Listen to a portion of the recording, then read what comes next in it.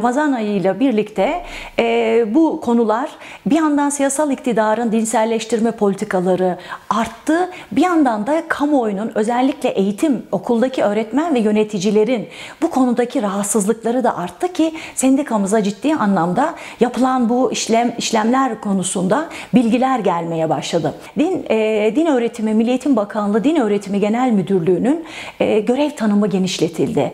Yetki, görev ve sorumluluklarının alanı daha da genişletilmiş oldu. E, zaten yaptıkları işlere meşrulaştırmak amacıyla yasallık kılıfı altında yaptıklarını daha güçlü bir biçimde yapabilmelerinin olanakları açıldı. Artık kamu kurum ve kuruluşları diyor. Bunların ne olduğunu bilmiyoruz ve bu kurum ve kuruluşlarla çok daha rahat bir biçimde strateji belirleme, birlikte çalışma yürütme gibi e, etkinlikleri yapacaklar. Bir yandan resmi olarak tanımlanmış anayasa, yasa ve yönetmelikler bağlamında çerçevesi çizilmiş bir öğretim programı var. Okulda bir işleyiş var, bir eğitim yönetimi süreci var. Ama bu yönetim süreçleri, bu müfredat, bu işleyişler dinci vakıf ve dernekler tarafından sürekli deliniyor. Bakın fen lisesinde, bir fen lisesinde bilimi esas alması gereken fen lisesinde dışarıdan vaizeler gelip söyleşi yaptırtılıyor okulların içerisinde.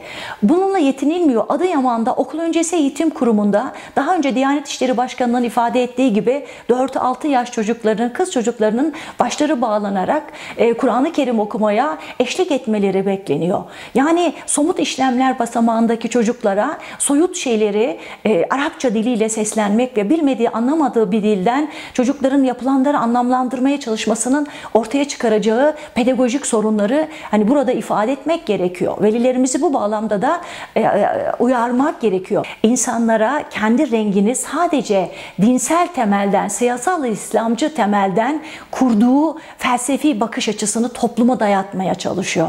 Yani bunların üstünü örtmek temel amaç. Yoksulluğun üstünü örtmek, işsizliğin üstünü örtmek, kadınlara karşı yönelen şiddetin üstünü örtmek, evlerdeki çaresizliğin üstünü örtmek, e, dinden e, e, dini teamülleri olan, dini pratikleri hayata geçiren, dolayısıyla e, sizlerin e, isterleri doğrultusunda hareket eden bir iktidarız demeye çalışmak. Ama bağlam sadece dinci bir eğitim üzerine kurulmuş durumda. Yasal iktidarın elinde sadece e, sabır, şükür, sınav, tevekkül dışında bir şey kalmadı ve buradan yükleniyor ve tabanındaki daha radikal unsurları bu bağlamda tutmak ve seçim sürecine bu rengiyle girmek istiyor.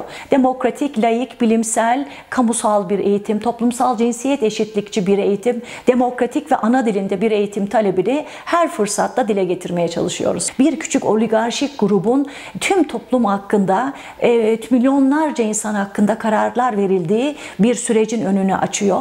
Buna çocuklardan 4 yaşında, 5 yaşında, 6 yaşındaki çocuklardan başlayarak üniversite öğrencilerine kadar dinselleştirme politikalarıyla sessiz kısılmış, dilsizleştirilmiş, sözünü söyleyemeyen, sürekli olarak iktidara boyun eğen bir gençlik yaratılmak isteniyor.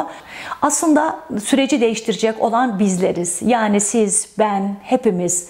Bu toplumun örgütlü, özellikle örgütlü e, demokratik güçleri, emek örgütleri, meslek örgütleri, demokratik, devletten bağımsız çalışan sivil toplum örgütlerinin geniş ve güçlü ittifaklar, koalisyonlar oluşturarak bu sürece müdahale etmesi gerekir.